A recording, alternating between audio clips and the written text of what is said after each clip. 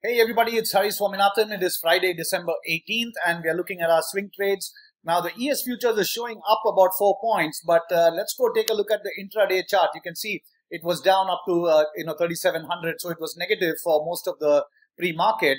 It's just turned positive, and plus it's not a whole lot. Um, I, I, want to take this uh, video to explain some margin issues because there, there, there's some confusion as to uh, you know how this margin system works. So whenever you have a debit spread you just have to pay the debit. And whenever you have a credit spread, you have to put up margin. So on Apple, you can see the BP effect on the final column here. The BP effect is $14,000. So even though it's 20 contracts and I think the spread size is about $7, uh, uh, the, the, uh, uh, the margin effect is 14,000.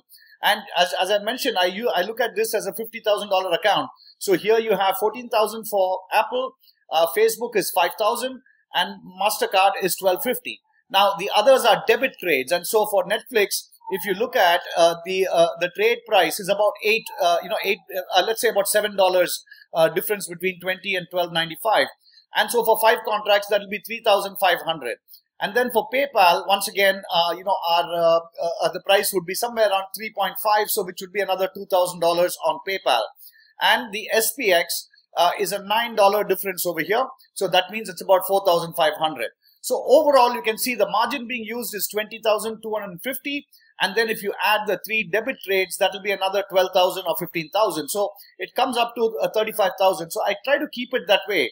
So just to understand, you know, this is a 50K account. So uh, depending on your account, you can scale up the size of contracts or scale down. Uh, either way is fine. But, uh, you know, that's how I look at this as an, you know, as a 50K account and I make sure that it doesn't go over that.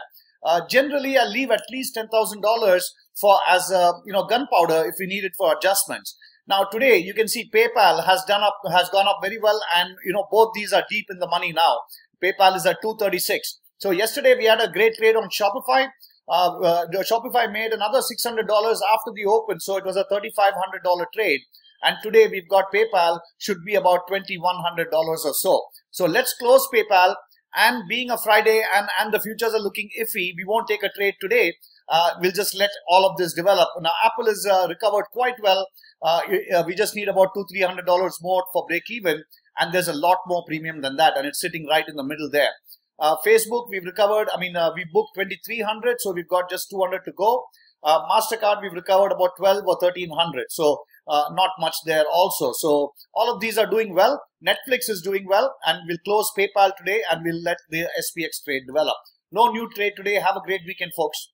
Thanks.